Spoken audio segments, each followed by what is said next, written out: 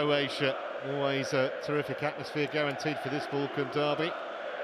Croatia nine points clear of their East European neighbours in second place, three points behind Belgium. Jose Mourinho, the Chelsea manager, amongst those watching from the stand. And initially, it was Serbia on top. Alexander Mitrovic striking the upright inside the first six minutes. You may well think he should have scored.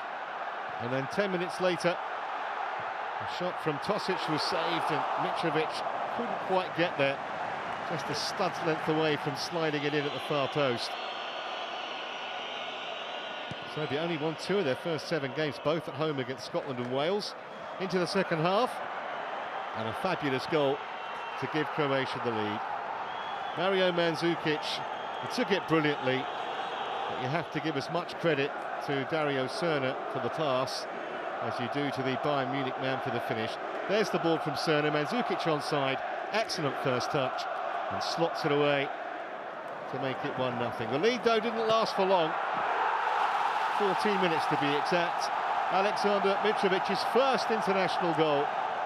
The Anderlecht man rising highest from the free kick. It's a terrific header.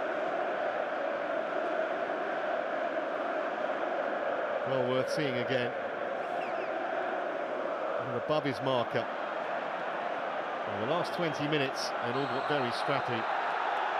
Nemanja Matic carded for that challenge.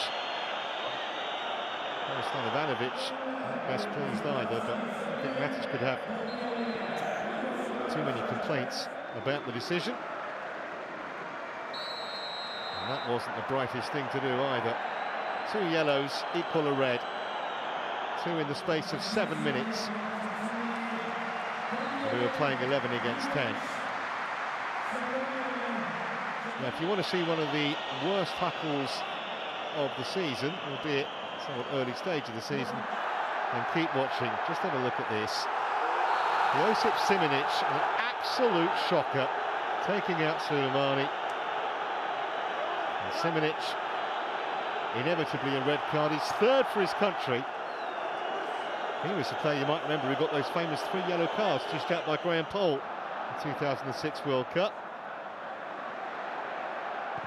It would have been probably an injustice if either side had won it. Petrovic with a, a late header save by Pletikosa, finished one apiece in Belgrade.